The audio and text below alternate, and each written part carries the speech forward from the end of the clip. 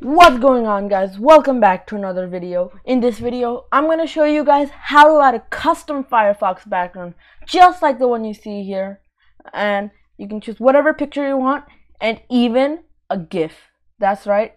And today I'm going to show you guys how to do that. And the reason I'm making this video is because recently I started using Firefox. And um, one thing I noticed that was different from Chrome that you couldn't do here is that like in Chrome there's a customize button that you can click and you can just easily change the background. There's themes and stuff that change the background. But in Firefox you have to go in a little bit of a more roundabout process. But trust me, it's super simple. You don't have to do anything. So first, let me remove this and then I'll be back. Alright guys, now as you can see I've completely removed my wallpaper and undid all the steps. And the first thing you want to do is go to about colon support. And once you press this it should take you to this troubleshooting information page. And um, in Mac you might have to scroll down a bit but there should be a profile folder here. And you want to click open folder. And in Mac it actually takes you to this folder with this selected. You just want to double click it in Mac or yeah. And it takes you to this window. So now in Mac whatever you're using you should be in this window and you want to create a new file here. So you just you can right click this works in Mac as well. You have to create a new folder. And you want to call this Chrome. Just like that. You want to rename it and call it Chrome. And now inside Chrome you want to create another new folder. And you want to call this img it stands for image. Now, now we're gonna have to create a css file and in Windows it's actually pretty easy. You just go to text document and you can call this um, user content.css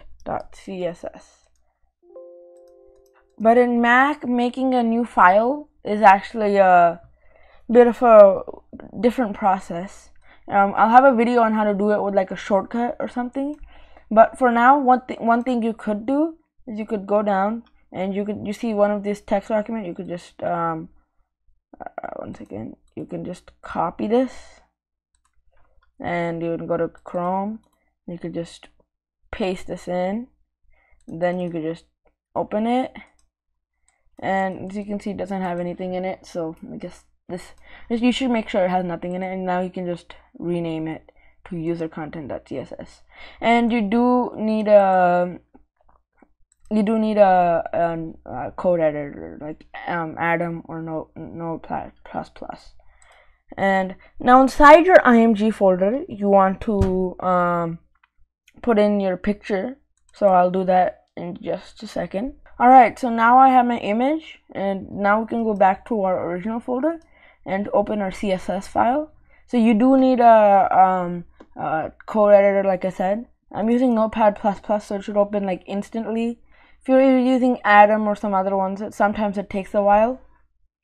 But like, yeah, it's whatever you prefer, man. It doesn't matter. I'm not here to tell you what to do. And inside this um, CSS file, you don't actually have to write anything basically. Um, there will be a Pastebin in the description, and there will be two Pastebins. The first Pastebin is called Firefox background CSS code blah blah blah, and there will be raw paste data. You just need to copy this control command c whatever. And and let's open this up. And you can just control v it in. This is all the code you'll need to do. Now one thing you'll need to change you see this on line 13 it says background blah blah blah blah. And then your image url right here.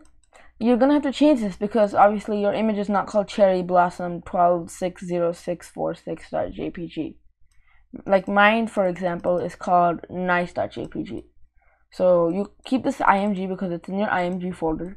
But here you just change this to whatever it says right here.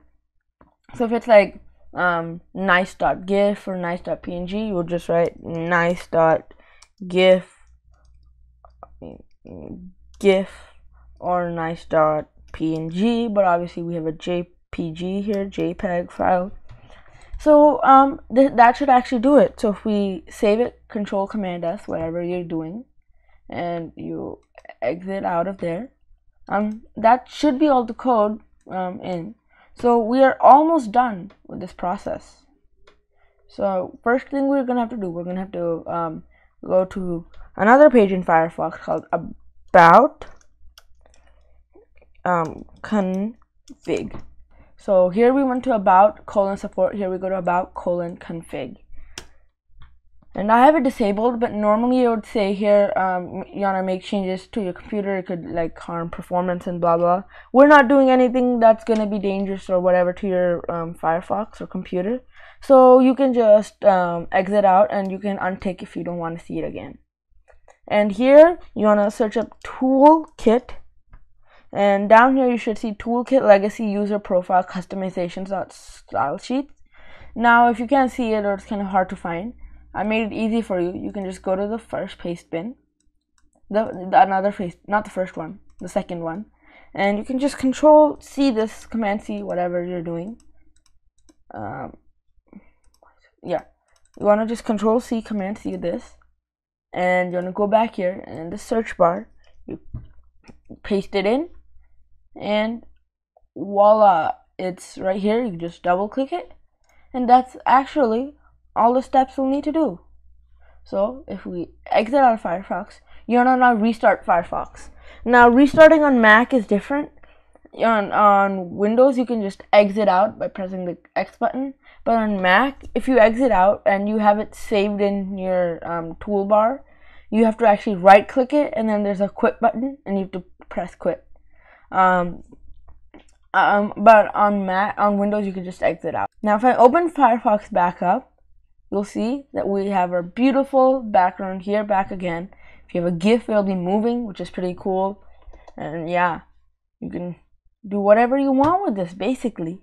And I thought that was pretty cool, actually, that you could do this. But um, that's going to be all for this video. If you did enjoy the video, a like and sub would be awesome, man. And if you want to see more videos like this, or you want to see our newest video, you can click here. And if you want to see a suggested video, you can click right here. But other than that, guys, I think that's all for this video. I hope you enjoyed, and peace out. Bye.